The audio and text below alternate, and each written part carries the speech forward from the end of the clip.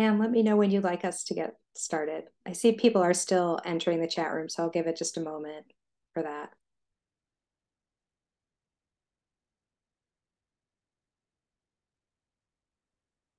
Okay, well, let's get started. Um, welcome to this ABA uh, teleforum on regulatory cost benefit analysis. Um, my name is Neomi Rao. I am a judge on the DC Circuit, and it's my pleasure to, to moderate this discussion. Um, thanks to the ABA for, for sponsoring this. Um, so I'm going to just say a few words before, um, before turning it over to our expert panel. So, so regulatory reform efforts and cost benefit analysis sometimes seem, you know, kind of wonky and in the weeds, you know, something that's just for technocrats and bureaucrats to work through. And so I wanted to say a little bit um, just about the big picture.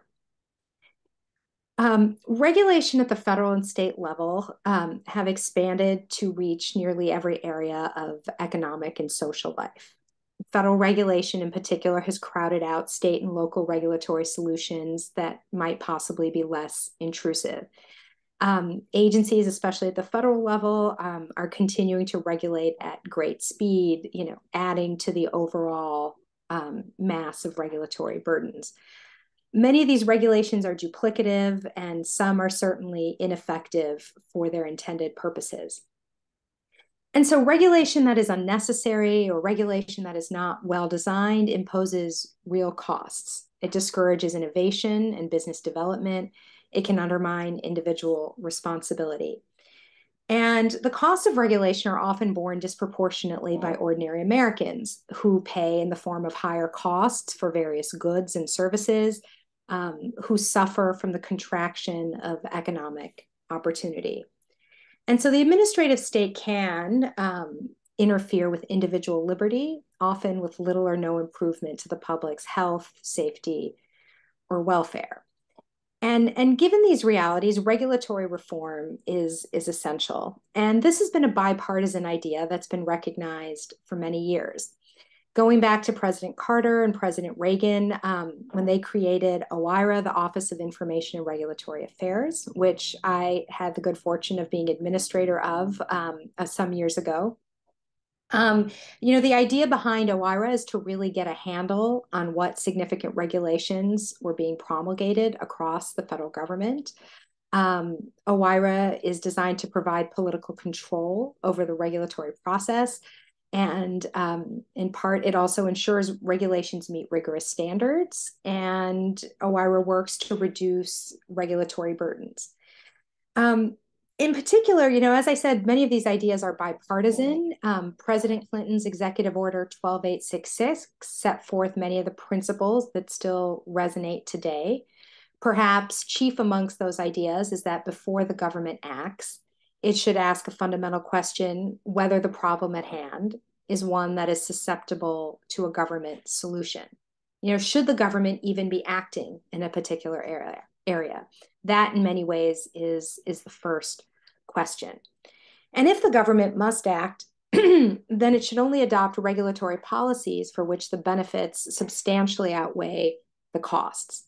I mean, in many ways, this is incredibly basic, and it's it's an idea that's been behind OIRA um, for many decades now. You know, I mean, there's sort of a, a fundamental question: you know, why would the government ever act to impose costs on the American people without the expectation that there would be even greater benefits? And so the fundamental principle at OIRA is to take private ordering as the baseline, you know, individuals, businesses, communities making their own decisions and then allowing regulation only when there are substantial benefits that outweigh costs that are imposed on all Americans. Now, of course, how agencies should do this, the methods they employ, the process for reviewing regulations, you know, these are all very much contested, and I'm sure we'll hear more about that from, from our panelists. And, and let me also just say that as a judge on the DC Circuit, my role in reviewing regulatory challenges concerns the law, my cases involve questions about whether agencies have acted within their statutory mandates and limits, or whether their actions are arbitrary and capricious.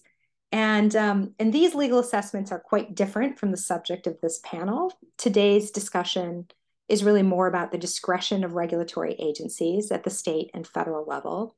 And we'll be talking about how government agencies should do their work, how they assess whether a regulation is worth enacting, and in, and in what form. And so, given my previous experience as the OIRA administrator, I'm very pleased um, to moderate this panel of regulatory experts who are, are still very much in the regulatory trenches. So, um, let me just briefly introduce them in the order in which they'll be speaking. So first we'll hear from Andrew Wheeler, who is the director of the, of the new Virginia Office of Regulatory Management. He's also the former administrator of the EPA, a role in which we work together on a number of reforms. Um, second, we'll hear from Reeve Bull, who is deputy director um, to, to Andrew Wheeler in that same office. Reeve, for many years, also helped to lead the Administrative Conference of the United States, um, better known as ACUS. Um, third, we have Anthony Campo, who is Director of Government Regulation and Counsel at Clark Hill.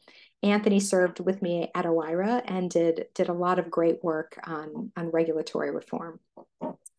And finally, we'll hear from Stuart Shapiro, who is Dean and Professor at the Rutgers School of Planning and Public Policy. He was also a former OIRA desk officer, and so, so also has a lot of real life experience on these issues. So the way it's going to work today is they each of our panelists will give a few introductory remarks and then we'll have a moderated discussion.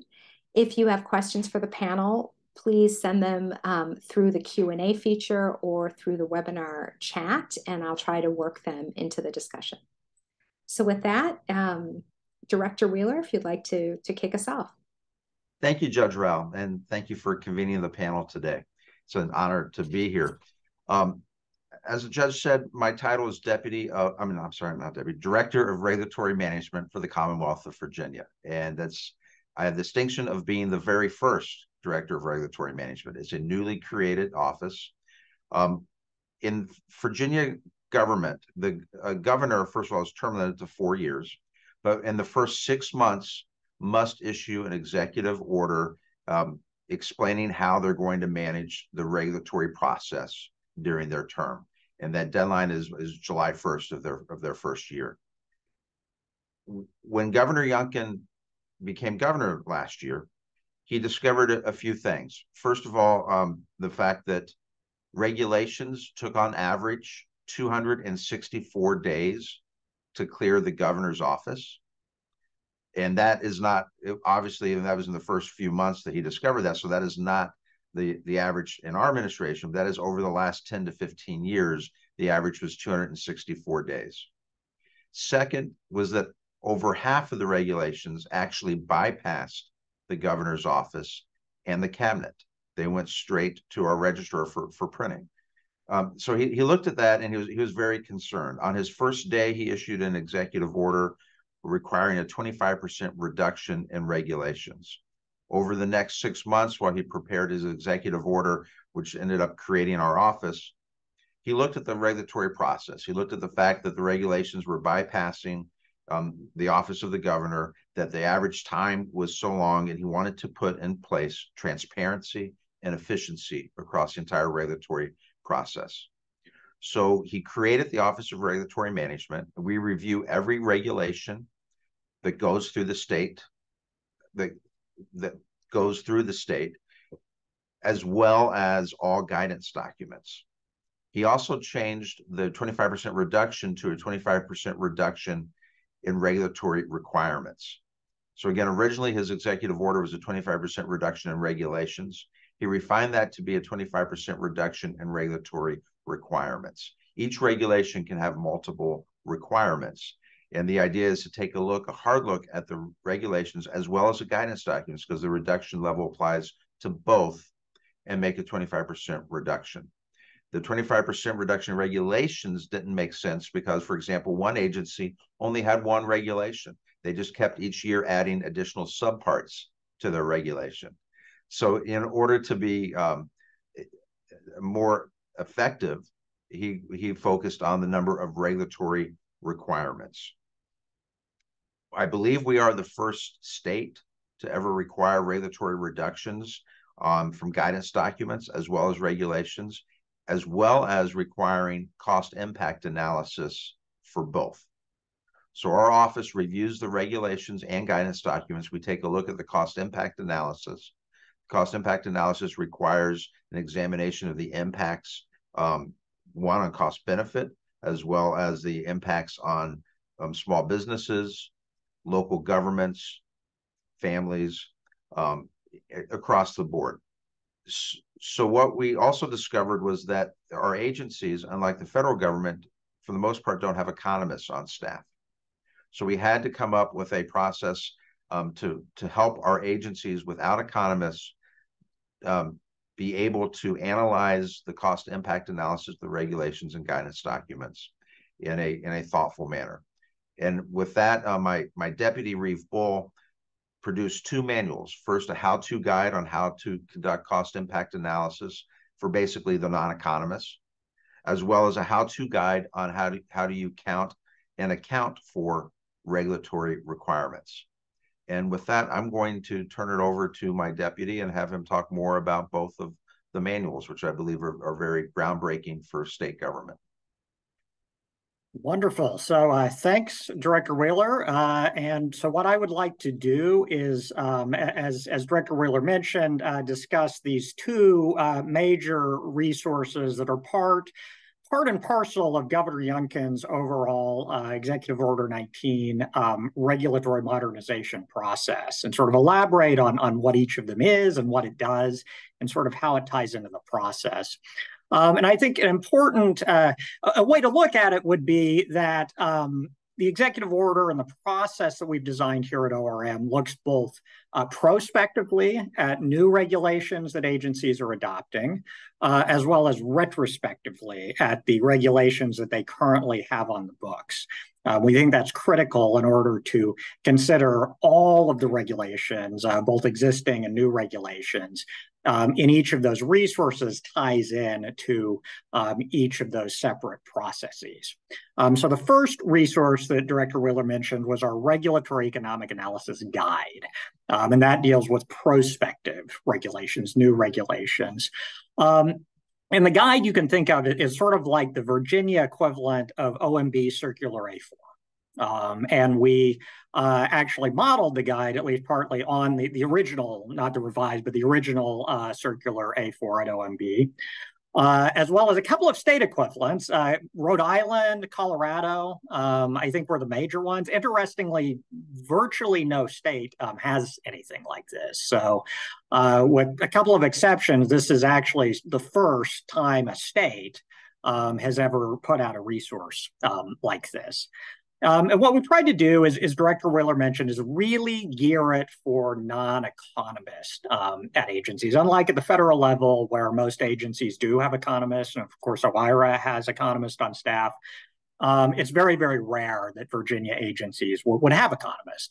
Um, but for the, from the discussions that we've had, you know, with experts in the field, most agency officials at least have a master's of public administration, where they have taken at least some economic courses. Um, and so uh, we designed the guide with that audience uh, in mind. Um, and we found so far that it's been very, very effective. Um, we've really distilled it down to basically the, the, four key questions that you want to ask as part of a regulatory economic analysis. Uh, what's the underlying problem that you're trying to solve? Uh, what are the alternative approaches to assessing that problem? What are the benefits and costs? Then ideally, you would try to monetize, put a dollar value to those benefits and costs. Um, and then finally, there are some targeted analyses looking at effects on local governments, families, and, and small businesses. Um, and what agencies do is for every single regulation and every single guidance document that they now issue, um, using that manual, using the resources we provided, uh, they prepare a regulatory economic analysis. They fill out a form, um, and that goes up on our Virginia Reg- Regulatory Town Hall website. Um, and those forms uh, are actually very, very short, very, very straightforward. They tend to be around eight to 10 pages on average. Um, much, much shorter than like federal regulatory uh, impact analyses by, by contrast. And I think that's partly because it's, you know, designed for, for, for non-economists. But from what we found, they've done a, a pretty good job of, um, of, you know, assessing the benefits and the cost. And we've really seen some improvement in the, uh, the quality of the economic analysis over time. So um, it really seems to be working and has had some, you know, we've had some major successes uh, in terms of agencies really drilling in the economic effects of the regulations. Um, so that's the process for new regulations. I'll just briefly cover the process for existing regulations. Um, so even before we came into office, agencies were required under the Virginia uh, APA, we call it the Administrative Process Act in Virginia, but they were required every four years to do what's called a periodic review uh, where they review every single regulation they have on the books uh, and decide if it's still needed. Um, now, as Director Wheeler mentioned, uh, Governor Youngkin's Executive Order 19 supplements that by providing that we are looking for a 25% reduction in regulatory requirements um, over the course of the administration. Uh, and it was actually based on a, a, pilot program that was done back in 2018. It was passed unanimously uh, by the, the Virginia General Assembly. Um, and that pilot program uh, asked agencies to catalog the number of requirements they had on the books. Uh, and then two agencies, the Department of Criminal Justice Services and DPOR, the Department of Professional and Occupational Regulation, were tasked with doing a 25% reduction. So what we've done is we've rolled that out to the entire Virginia state government. Um, and this guide, like the Regulatory Economic Analysis Guide, provides guidance on how that's done. And we found that that's been very, very helpful. There were certainly, the first time it was done, some inconsistencies in terms of sort of how agencies approach counting requirements and what's included as a requirement. Um, and the guide is intended to um, provide a framework, a unified framework uh, for, for, for doing this exercise and provide clear guidance to agencies. And we think a couple of aspects of it are unique. Um, one of which is we give them credit not just for eliminating musts and shalls, um, but also for reducing the costs uh, of, of, requirements. So one example is our board for barbers and cosmetology reduced training hours from 1,500 to 1,000.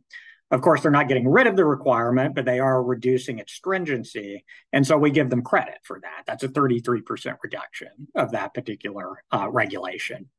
Uh, and then, as Director Wheeler mentioned, it also covers guidance documents. Guidance documents, of course, shouldn't uh, include requirements, although if we do, we require agencies to tabulate those. Um, but we're also looking to reduce the length of guidance documents by 25% to make it easier and more streamlined for the public. Um, so that's the overall process. Um, our hope is that it becomes a model for other states. Um, a lot of states have very, very similar processes, and we feel that they could easily pick up our regulatory economic analysis guide or our regulatory reduction guide um, and implement something similar. Uh, so that's our hope, and that's something we'd like to explore uh, on today's panel.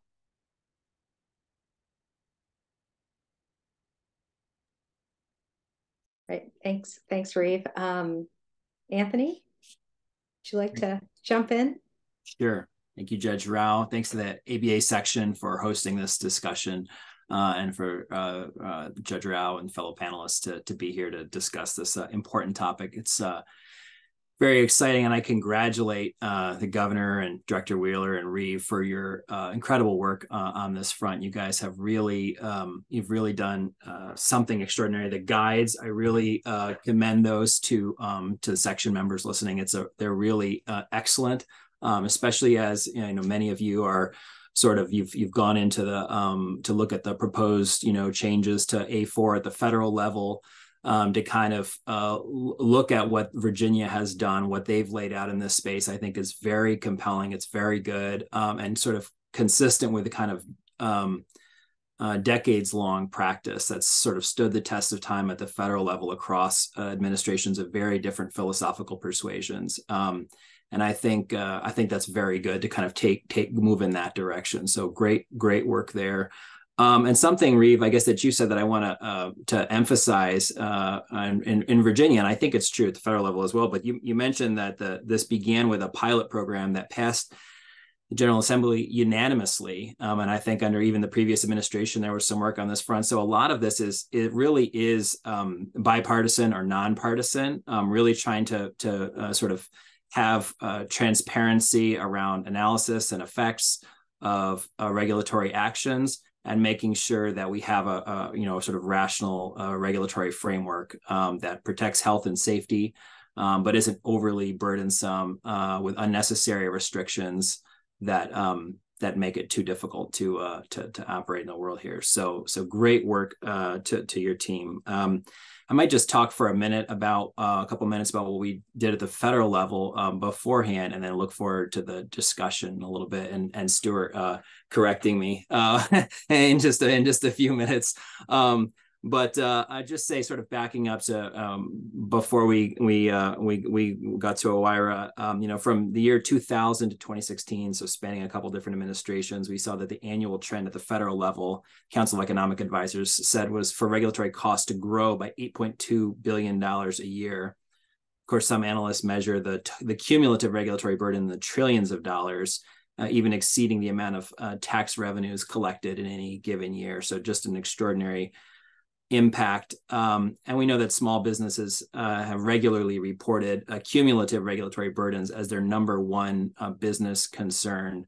Um, so really um, an issue that touches down for, um, for, uh, for, for a lot of folks in a very real way.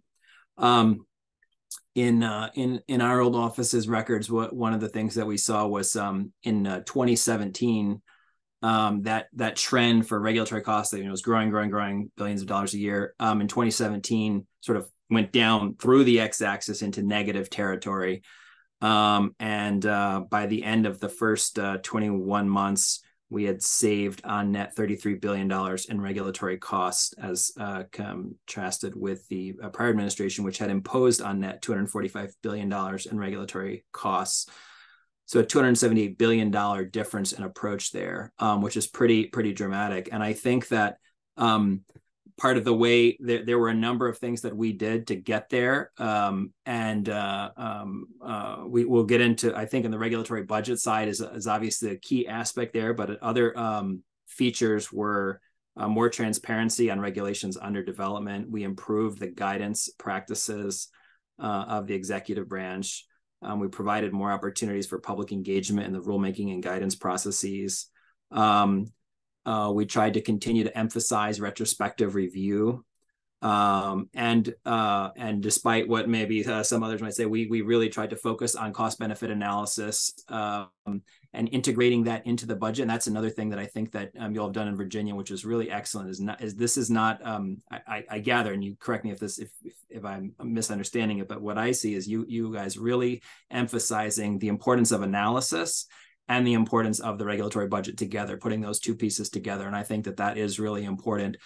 Um, at the federal level, it was maybe um, a little bit um, less um, obvious because the attention was on this sort of two for one executive order. But what the implementing architecture for that did was it said follow 12866, follow the long-standing practices with respect to analysis um, and make sure it's an integral part of of the implementation of the regulatory budget. So so we really tried to do that at the federal level. I think they'll will be more explicit about that. I expect in the future. And I just think what Virginia has done in that respect is is really great. Um, and um, and we also try to uh, uh, emphasize that uh, regulatory policy needs to be anchored in the best available public facing information. So you put all that together, um, and you get a set of kind of uh, uh, practices that are anchored in many respects in uh, a lot of um, the work of this section in the past, ACUS work in the past. Um, I've mentioned this in other contexts, but I mean the World Bank, OECD, the U.S. government regularly champions these kind of principles and values around the world. Um, and uh, and we really uh, sort of took those to heart and tried to um, promote them um, and um, and uh, and integrate them with the regulatory budget um, so that we could have a um, a responsible regulatory uh, architecture that that like as I say protects health and safety and also make sure that we're not um, going too far and we're allowing kind of um, the market market to operate as well. So maybe I'll just leave it there and uh, looking forward to the discussion. Great, thanks, Anthony. Um, Stuart, I guess you get to, to back clean up to all that. All right, excellent. Uh, thank you, uh, Judge Rao. Thanks to Ree for organizing and to the ABA for, for hosting the panel. Um, I'm going to talk for a few minutes about when regulatory reforms last, um, the durability of regulatory reforms. Um, and in particular, I'm talking about reforms to the regulatory process like those um, that Director Wheeler and Reeve were talking about when they talked about the uh, the new review process at the Office of Regulatory Management and the requirements for analysis. I'm talking a little bit less about the 25% reduction because that is very much sort of contained um, in the present time there. Um, and it's uh, durability is important because I think for regulatory process reforms to have an impact, they have to stay in place beyond the administration that issues it.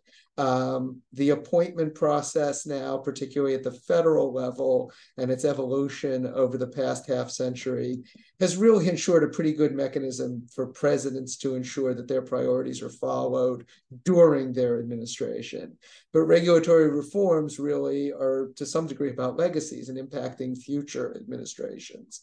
Now, one way to do that, of course, is to embed those reforms in statutes. Um, there was a time at the federal level, and a couple of the speakers have referred to this, where this happened fairly regularly. The Paperwork Reduction Act and the Regulatory Flexibility Act in the late 1970s, and then again the Unfunded Mandates Act and uh, and and SBREFA in the mid 1990s um, were both bipartisan. Both occurred with uh, the first occurred with a Democratic Congress and a Democratic president, the second with a Republican Congress and a Democratic Congress those kinds of reforms statute uh, embedded in statutes don't really happen anymore. And it's been really since 1995 i'd argue since we've seen anything uh, meaningful like that. Um, it does happen sometimes at the state level um, but usually where there's more uniform uh, party control control of the legislature and governor's office. Um, there are a number of states that have legislative review of regulations um, uh, in statute and others that have analytical requirements there as well. So when does a reform that comes from the executive um, stay in place when the governor or the president leaves office, and particularly when there's a change in party?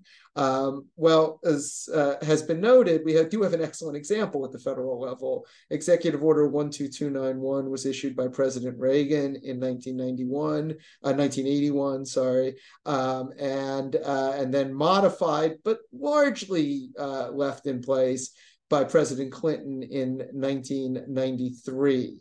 Um, and like uh, the work going on in Virginia, it required office review by an office, reporting to the to the executive, OIRA in this case, um, and requirements for for regulatory impact analysis of a number of uh, or a subset at least of regulations. And while there have been additions and modifications to 12866 since the Clinton administration, no one has altered the fundamental underlying structure, despite the fact that we have had now presidents with very different attitudes regarding uh, regulation. Um, I'd argue that there are four things that have helped 12866 endure um, over the years. Um, the first is it makes the executive stronger.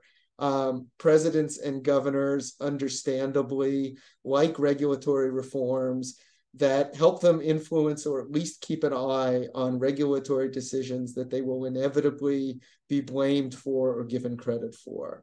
Um, 12866 does this by giving OIRA that regulatory review power, and OIRA regularly shares um, drafts of regulations with the White House and the offices therein.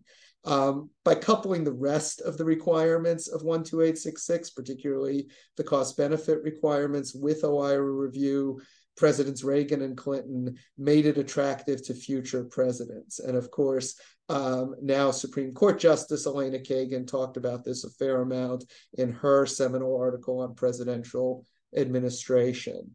Um, a second factor is the neutral veneer of cost benefit analysis. And I'll make clear that I am a big fan of cost benefit analysis. And I think part of the reason I feel that way is that at heart it's the very so- there's a very solid principle for policymaking and that is that we should understand the consequences of our actions and government's actions before they are taken.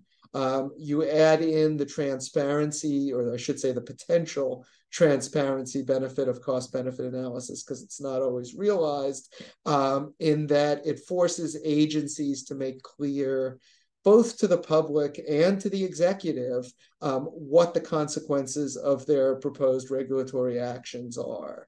Um, now, there are some on both sides of the ideological divide that don't like cost benefit analysis. On the left, some are concerned that it is inherently biased against government. And on the right, uh, there are those who argue that analyses conducted by agencies will inevitably be biased in favor of the actions that agencies want to take. And not that either of these arguments are completely without truth, but I don't think there's enough there to um, that really has damaged the way cost benefit analysis is viewed by many of us um, in, uh, in, in the regulatory space. Um, a third factor related to, to that is the language used to describe the actions. Um, Sally Katzen, who was uh, essentially the principal author of 12866 and the head of OIRA under President Clinton, always talked about the executive order requirements as being common sense, good policymaking. Um, and I was impressed by the materials surrounding the Virginia order, which talked about how regulation was essential and that transparency was important. Principles like this are easy to get long term and widespread support for. Um, deregulation, redistribution, those are principles that are more hotly contested, um, both I think by policy elites and and and by a more general um, group of people. And so these orders that have lasted, and 12866 in particular, has been cast differently um, than, uh, than than uh, some others that didn't last.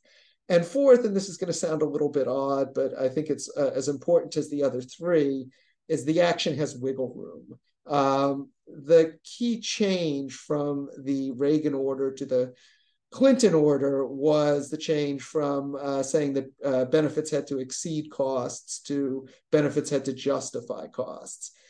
Now, in point of fact, benefits exceeding cost, I think, has far more wiggle room than people generally gave it credit for um, because of the nature of economics and the nature of benefit cost analysis. But I don't think there's any that would argue that benefits justifying costs has more wiggle room. Um, and this is important because at the end of the day, executives, regardless of their substantive preferences, are going to have a host of reasons for wanting to issue regulations or policy in general. And they don't want their own executive orders with very hardline language to stand in the way of their doing that. Um, when John Graham, who was George W. Bush's uh, first head of OIRA, came into office, he faced the decision of whether or not to keep 12866 in place. And he said, both within OIRA and publicly, that 12866 contained everything he needed to uh, to put forward the Bush administration's regulatory goals. And I think the way it is written was important towards him reaching that decision and his successors um, largely doing so as well. Um, as states consider executive regulatory reforms like the one that Virginia has, um, I think they should probably keep these qualities in mind. Now, I want to be careful, of course. I don't want to say that any of these provide a guarantee that they will last or are always necessary. I was very surprised this year, actually, to see the Biden administration discard the uh, change the Trump administration had made regarding IR, uh, OIRA review of IRS regulations, which was something I actually thought they would keep. Um, and it was not something that they got rid of right away, but they did earlier this year. And that was a surprise to me because that reform hits most of the, uh, the points I just made. Um, then uh, on the other side, um, states with a very stable political climate, um, where one party has controlled the governor and the legislature for a long time, um, you do tend to see uh, the work of the previous governor kept in place. And so you don't need to meet all these requirements in those political climates. Um, I'm happy to talk more about the Biden reforms to Circular A4 and to the, the particulars of Virginia, but I think it's probably best to leave that for the discussion and for Q&A. So I will turn it back to you, Judge Rao. Great. Um, thank you so much, uh, Stuart, for those observations. Um, maybe I'll begin with a question just picking up on, on some of the things that you mentioned, Stuart. Um, and also relating to to what the other panelists have have spoken about I, I, think this idea of of what is durable in regulatory reform and regulatory process is a very interesting question because so much of it is a create is like a creature of executive process right? Whether it's a governor or a president. And so you know any subsequent governor or president can simply just make a different choice. But in many areas as you point out they haven't. You know we also looked at 12866 and you know decided it was prudent and best to keep that in place for for many of the reasons that you mentioned but um, so durability and stability is important but but what role and this is a question really for all the panelists like what role does presidential control or governor control you know political control play in the regulatory process because often one of the justifications for um, you know, sort of the constitutionality or the legitimacy of the administrative state is that it's politically accountable. And that political accountability largely comes through an elected official. So, so I'm curious how you think, um, you know, questions of durability intersect with with the importance of political control, or with political control, whether you think it's important or not. I guess. Uh, Judge Rao, do you mind if I jump in? Yeah, sure. So first of all, in in, in creating our um, reduction goal of 25% in regulatory requirements, we built off of, as Reeve and I mentioned, a 2018 um, law that was passed unanimously by our, our, at that time, democratically controlled Senate and signed into law by the previous Democratic governor. Um, but you know, there's there's also the efficiency side. I mentioned that it, it took um, 264 days for regulation to get through the governor's office. We have that down to 12 days now. So future governors, if they want to change the regulatory process, if they're going to make it longer and more difficult to get regulations through, are going to have to justify why they would make that change. Now, at the at the federal level, something that I was absolutely shocked that the Biden administration did I wasn't surprised that they got rid of a number of President Trump's um, executive orders, but they got rid of the executive order on guidance documents. And you know that required all guidance documents to be put on a searchable um, database for the public to be able to see for the first time ever. And we did that at EPA, 10,000 guidance documents you could search. And prior to that, you had to literally go to the EPA reading rooms at the EPA headquarters and search through file cabinets to look for guidance documents. The, uh, the Biden administration got rid of the executive order, but they also took down the database. So that's just absolutely, actually, it's under waste, fraud, and abuse. It's waste of government resources because they just dismantled a perfectly functioning um, database that provided access to the public of guidance documents. I'm, I'm sorry I haven't seen that much of an outcry at that at that at that waste. But I don't know. I don't remember what the justification was for. I, I haven't really seen a justification on that, but uh, I am concerned, and this goes to what Dean Shapiro was talking about. He mentioned a a four briefly. Um, I I think the Biden administration is politicizing the OIRA process um, more so than any previous administration. You know, in the past, OIRA was calling balls and strikes as an umpire, looking at the cost um, at, at the cost impact, cost benefit analysis, the data coming from the agencies, um, they've put a lot of subjective criteria now into the A4. So that is going to open the door. I think a future Republican administration will probably do away with the, you know, with the Biden A4 and put their own subjective criteria in.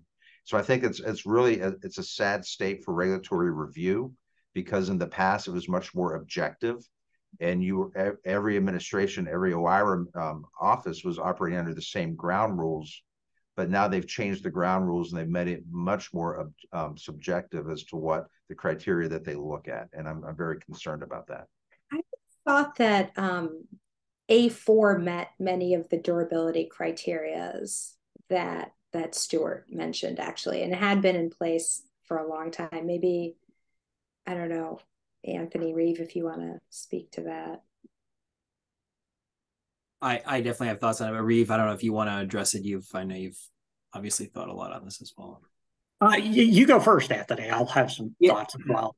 Yeah, I mean, I think that um, uh, absolutely. You know, I I was uh, I was in a discussion, uh, a different panel with uh, Sally uh, uh, Katz, and as Stuart mentioned earlier, and And she said, "Oh, oh, A4 is not a foundational document of the administrative state." I said, "Sally, that's just because it came out after you were there. You could, you know, ask anybody who's been there uh, in the last 20 years, and they'll tell you A4 is absolutely uh, foundational. Every single discussion between an OIRA desk officer and a, and an an, uh, uh, an agency drafter is all about A4. A ton of it is about A4, and so to me, it is very strange because you have OIRA desk officers who, for years and years and years, they're most of them their entire career have been arguing one approach to analysis against a different approach. And now they have to just completely flip and go to the side they've been arguing against and say, no, that's our that that's what we want. Um, that's our view now. It's it's very strange. Um, and I I am I think that um, uh, we took we took a pass on those reform. We wanted to reform A4 in a different direction, and we didn't do it.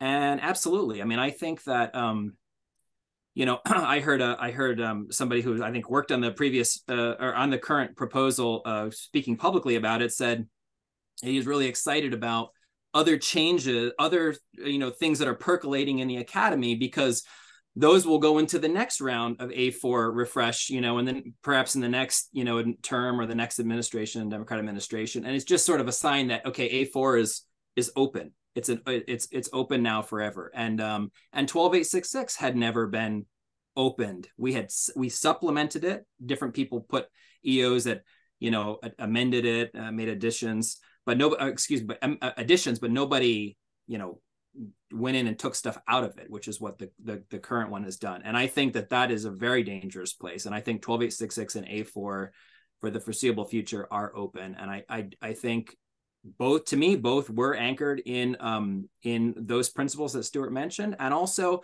I think a quality about them that is, um, it's not just the, it's not just the principles, but once something like that, like A4 has, um, has, has gone through administrations of, of uh, d- different you know parties and philosophical persuasions and has stuck around stayed around you know um to go in and change it because there's some modest thing that we could do to it or there's some there's something that we could you know improve on it uh it's just it's just opening it's opening it up forever and and making it less likely that it will stay on on those rails so i, I think it's i think it's very dangerous but one thing i wanted to say about the what's happening in virginia um if you take an example of their um of the rules. What they've done, and I think this is consistent with what Stuart's saying, that is very helpful. I think for the the regulatory budget there is a little bit different, right? And you guys tell me if it's wrong, but it's it's le- it's slightly less about the cost and it's more about the restrictions and the requirements. And the process for going through and identifying those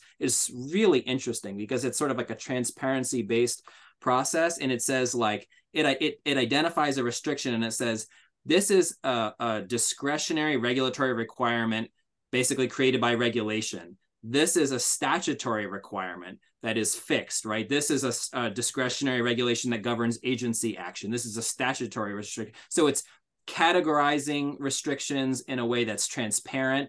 And I think it's really useful for the public to know did the legislature create this? Did an agency create it? There's nothing, to me, there's nothing particularly political about saying what the origin of a restriction is and then you go through a process to figure out where that restriction ought to land. But I think that's a really helpful um, uh, sort of different cut uh, at a regulatory budget from saying, you know, because part of the criticism that we had was, oh, it's all about cost and dollars, and and and this is sort of something. This is something slight, a slight permutation of it that I think is, I think is pretty interesting. Uh, wonderful. Yeah. So first of all, that's exactly right, Anthony, in terms of how we've um, we've structured the 25%, looking specifically at discretionary requirements. Um, and, and, to Judge Rao's question, and you know, and I agree with you, Anthony, in terms of I feel like the the original Circular A4 I think the reason why it stood the test of time is because it performed so well on those those metrics that, that Dean Shapiro um, had had described. Um, and, and, two things that I'd really emphasize about it, um, sort of building on Anthony's points, are first, it's, it's impartiality, that it really was focused on just the quality of the economic analysis that agencies are undertaking, didn't put its thumb on the scale on, on in one direction or the other. Um, and then also something that I think has has been part of the discussion, um, you know, with respect to the revised circular A4, um, though perhaps not as emphasized as the impartiality point, is just its simplicity. You know, is relatively straightforward. It's a relatively short document.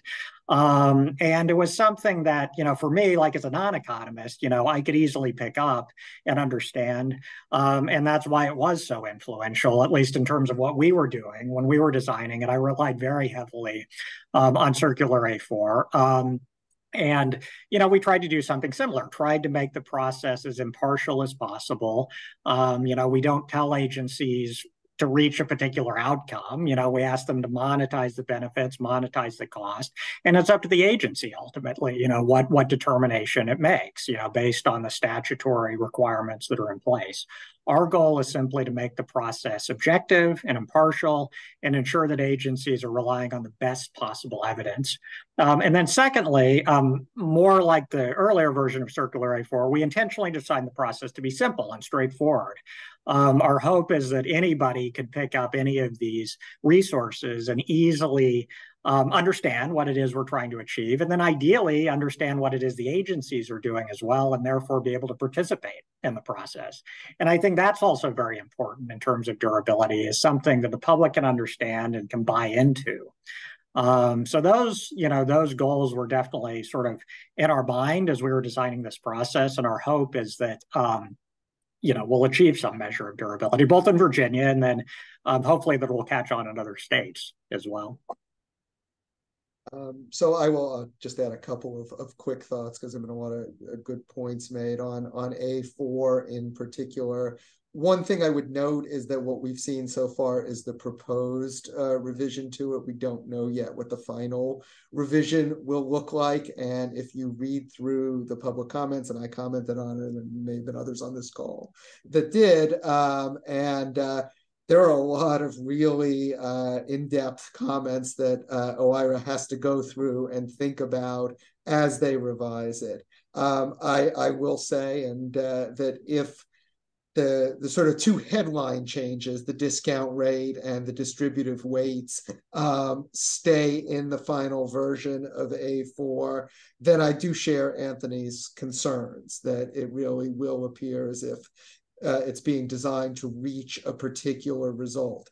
I don't want to say that everything in A4 is sacred. Knowledge moves forward, and this is a document based on economic knowledge. And so I, I do think I'm probably open to seeing modifications to it, but the modifications those two modifications in particular were significant enough that I think it raises the concerns um, that that Anthony voiced. Um, the other thing is getting back to Judge Rao's initial question, the, the question of political control, um, I think is really important. And certainly I've spent a lot of my, my academic career thinking about that. Um, and I, I do think that political control is important. I, I think um, we shouldn't ignore the fact that agencies are in general reacting to statutes that were passed by Congress. Um, and so that is a form of political control. Um, but many of those statutes, for good and not so good reasons leave a lot unanswered and uh, a lot of discretion. And as those smaller choices are made, I do think political control is important. And I think it is quite logical that presidents who with each passing year, more and more become the face of all policymaking in Washington, whether or not they had something to do with it or not, have an interest in making sure those decisions go in the direction that uh, that they feel appropriate. Um, and and so I think that is something that's not going to go away or not going to change anytime soon. I, I, used to say when I was administrator that one of my jobs was to operationalize the unitary executive, but uh, I do think that was uh, was an important important part of the job. Certainly not the only part, but but an important part. So so I am interested in this. Um, you know the state level like OIRAs. You know what's happening here in Virginia. I'm wondering, um, Andrew and Reeve, if you have a sense of even like a rough sense of what percentage of regulatory burdens in Virginia are imposed by state regulatory requirements and you know, or by federal requirements. I don't know if you have any sense of that. I just think that would be an interesting thing to know. Yeah, it's I, I we haven't calculated the total um, amount from federal versus state, but it is significant. Federal requirements are very significant, mm-hmm. and um, we do when we make the twenty five percent regulatory reduction, we do not require we don't count the federal requirements into the baseline. Mm-hmm. Um, we had all of our agencies provide us a baseline of their regulatory requirements for all of their regulations, and they did not include the federal requirements. Now, one thing that we did notice um, historically is that a lot of agencies, and I and I think this is probably true across the country, will say this regulation is required by federal government. And if you do a deep dive into it, you may find that 80% of it was required by the federal government, but that the agencies tacked on additional discretionary requirements. And we mm-hmm. are focusing on those additional discretionary requirements. Mm-hmm. But there was a very large percentage, and it, it varies from agency to agency. Mm-hmm. Um, some are more prescriptive. Some federal agencies are more prescriptive to the states than others, of course. Yeah.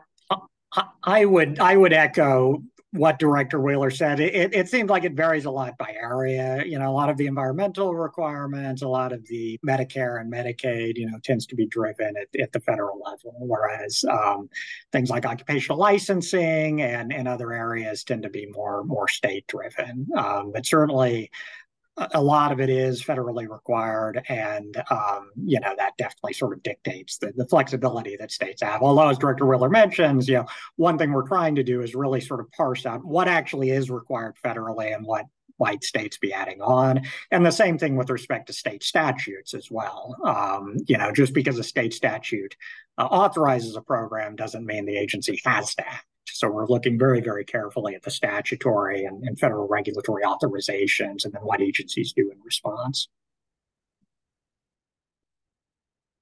Go ahead, Anthony. I was just going to say it's making me think of the um, um, uh, you know, um, UMRA at the federal level is obviously, in my view, is not very well enforced. Uh, it's an important statute, Stuart mentioned earlier, passed on a bipartisan basis. There have been several legislative proposals to strengthen its uh, implementation. But I wonder if that's something, you know, uh, Director Wheeler and, and Reeve, you all have uh, already bitten off a whole lot. But um, uh, but but taking a look at you know maybe helping to guide the federal government on improvements that could be made to UMRA because really um, that that's a that there's a real linkage there probably. Um, uh, but but like I said, you've already bitten off a whole lot, so maybe that's for maybe that's for the next phase one one other point is, is is the way businesses perceive regulations.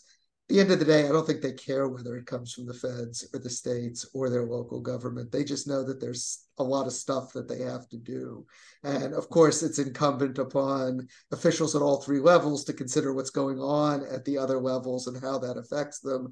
But the perception of regulation, I think, is uh, comes not just from one level of government, but from the fact that uh, that that businesses feel like they they have to adhere to lots of sometimes contradictory, duplicative, uh, et cetera, requirements um, because they're coming from different sources. Uh, Dean Shapiro, I will add to that though. What Governor Youngkin has discovered in trying to attract new businesses to Virginia is that they do look at the regulatory burdens from state to state. That's so that does true. play quite a bit in um, site selection mm-hmm. across mm-hmm. the country. And then, of course, um, there's been some examples in the past of some of the more regulatory states in our in our country that push for federal regulations to mirror their regulations to level the playing field. They instead of trying to deregulate, they're trying to bring other states up to their same level right. of regulation, whether it's necessary or not. The question of race to the top or race to the bottom, depending right. on your perspective yeah it's interesting um so I'll just we only have about five more minutes. So I just wanted to to see if the audience had any questions. Feel free to to put them into the chat. But um, but another question I was wondering is how um, you know, are there ways to get these sorts of state regulatory reforms um, pushed out to other states, either through ACUS or other means? I mean, I know when I was administrator of OIRA, a number of state officials had come to talk to me about regulatory reforms, you know, sort of thinking about how can we do state regulatory reforms along the same model as uh, as the federal government. And I don't know how much of that actually took root, but there did seem to be a lot of interest um, from state officials. And so I was wondering if you've been working with with people in other states um, to help implement this sort of thing Well, we have we've heard from a number, number of other states and we've shared our um, the manuals that Reeve um, wrote for us on the cost benefit and reg reduction, and so there's been quite a bit of quite a bit of interest, um, and I, I think that's very healthy. I, I, absolutely, um, and and I think um, you know one of the things that we're hearing from states, and we think hopefully sort of sparks um, some movement on this front, is that um, you know, partly because we were sort of one of the first movers in the space, you know, that there weren't extensive resources in place, whereas we feel like now that we have these manuals available, it's the sort of thing that another state could, could pretty easily pick up. And if not adopt 100%, at least tailor it to, to their to their state program. Um, and then another thing that we're hearing is that um, you know, there may be some concern about the resources that it requires, but you know, one thing I'll emphasize is, you know, we're a very small shop. You have basically two thirds of the uh, regulatory team, at least in ORM, on on the call today. Director Wheeler and myself. Uh, we have a third policy analyst um, that works uh, works with us as well. Um, and then, of course, the agencies have not added new staff. They're just using, you know, their existing regulatory coordinators to do this sort of analysis. Um, and we found that it's worked quite well. Um, so um, I think sort of as the states start to, to, to see that it's, you know, it's something where the reforms can be put in place in a relatively streamlined way and that it doesn't require a major investment of resources. Um, hopefully more will start to, to take, take up these sorts of modernization efforts. Okay, maybe um, just as a wrap up, um, maybe if each of you could just say what you think are some of the biggest challenges facing, you know, regulatory policy right now, in in a few words.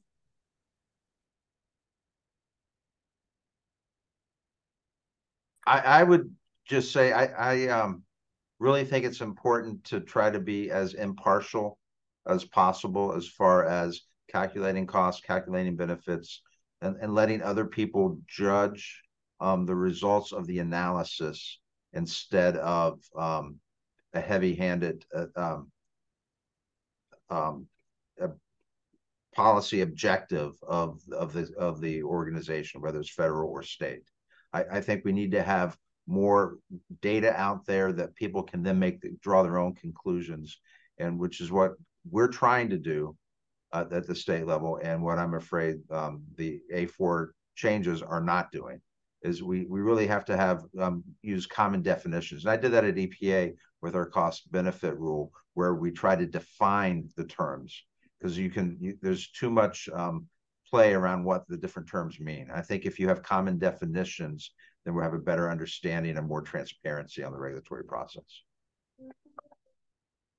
I'm happy to go next. So I guess the, the issue I would emphasize would be uh, so sort of at the outset of the presentation, I mentioned sort of the retrospective analysis and the prospective analysis. And I think um, the federal government and at least some states, I think, have, have done a solid job on the prospective analysis. But I think looking back at the regulations that are currently on the books, I think has been a challenge. You know, federally, um, you know, when we were at ACUS, we looked at retrospective review initiatives that really go quite far back to the Carter administration, at least.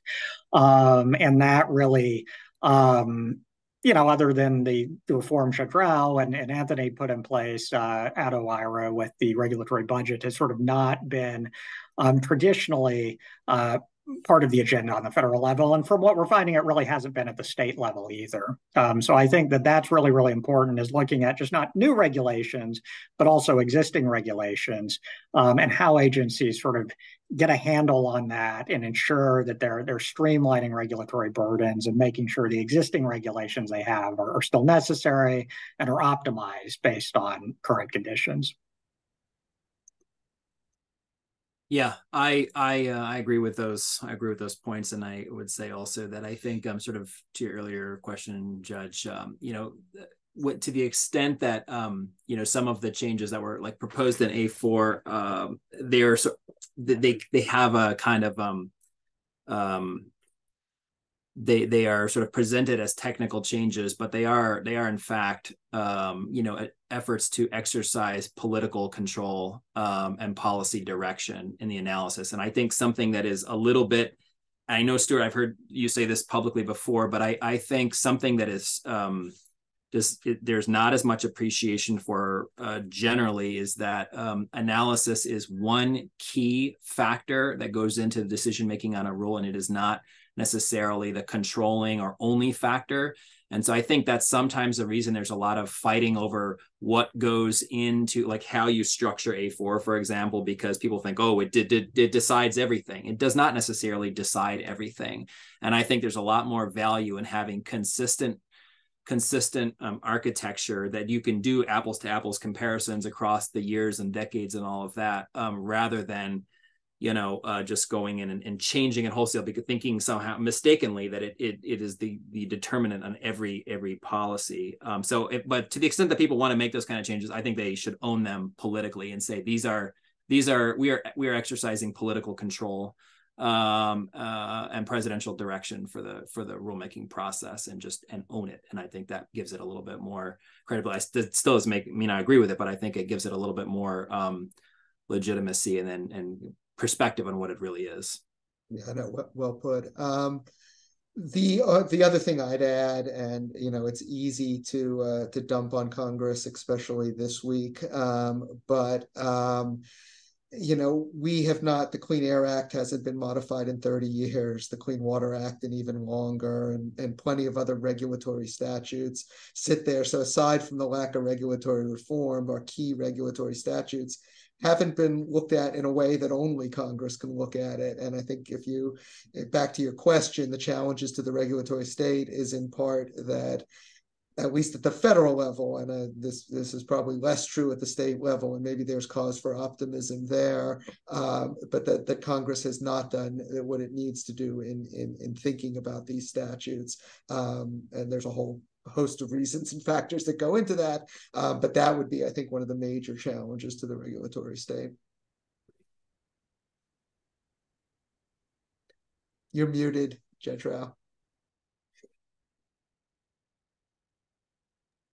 sorry. Um, thank you so much to all of our panelists. This was a really interesting, interesting discussion, a lot of different perspectives, and and thank you to to our audience uh, for for tuning in. Thanks. Thank you.